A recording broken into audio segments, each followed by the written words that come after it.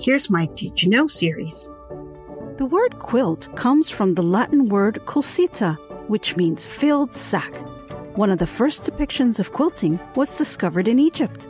It is of an ivory figure of a pharaoh wearing quilted robes dating back to around 3400 BC.